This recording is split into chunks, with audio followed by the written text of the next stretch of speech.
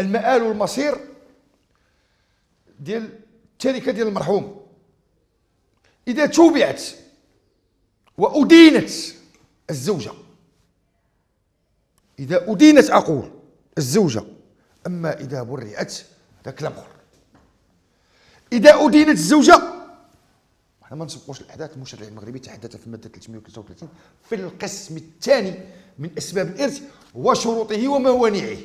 تحدث عن الموانع في المادة 333 واضح في مدونة الأسرة من قتل مورثه عمدا؟ وإن أتى بشبهة. وإن أتى بشبهة. لم يرث لن يرث في ماله ولا ديته ولن يحجب وارثا. مادة 330 333 من مدونة الأسرة بطبيعة الحال هناك قاعدة فقهية. فقهاء من استعجل أمرا يعاقب بالحرمان منه. من استعجل أمرا يعاقب بالحرمان منه. إلى حدود الساعة. التحقيقات جارية على قدم وساق. والملف الآن معروض على أنظار رصيد قاضي التحقيق. إذا صدر قرار بعدم المتابعة الزوجة وطهرت الغرفة الجنحية المتابعة بمعنى أن السيد قاضي التحقيق يقدر يصدر قرار بعدم المتابعة والوكيل العام يستأنف القرار وكننتظروا الفيصل من الغرفة الجنحية أي غرفة المشورة إما سوف تؤكد وتؤيد القرار ديال السيد قاضي التحقيق أم أم تلغي قرار السيد قاضي التحقيق بعدم المتابعة وتتابع الزوجة من جديد وتحيل القرار إلى المحكمة. بمعنى أن غرفة المشورة طهرت المتابعة. إذا طهرت المتابعة بعدم المتابعة لا تطالها مقصدة المادة 333 إذا توبعت كنتظروا قرار المحكمة. إذا برعتها المحكمة لا تطالها مقتضى المادة 303 من موانع الإرث.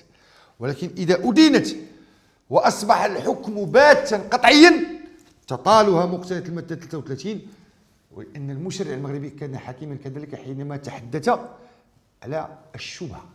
الشبهة لأننا الآن ليس بالقتل الخطأ لأن حتى المشرع المغربي في المادة 333 تحدث عن القتل الخطأ أو الضرب والجرح المفضي إلى الموت دون نية إحداثه مثلا حينما تحدث في الفقرة الثانية من قتل مورثه خطأ ورث في المال دون الدية وحاجة.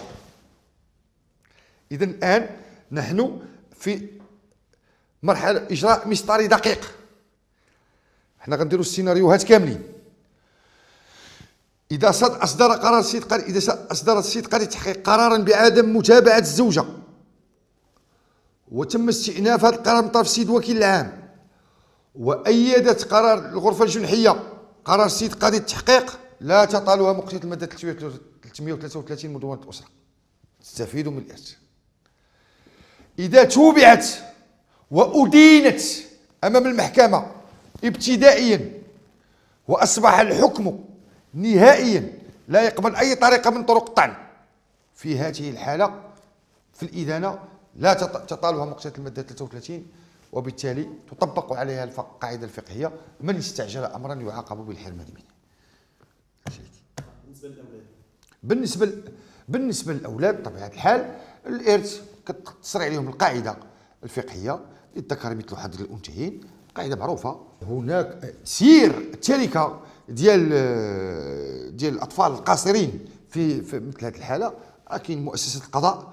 القضاء راه القاضي القاصرين كما كما كما يقول الفقه راه أب اليتامى ويقوم بتدبير شؤون القاصرين تدبيرا حكيما ولا يجوز التصرف في هذه التركة إلا بناء وتحت إشراف سيد قاضي القاصرين.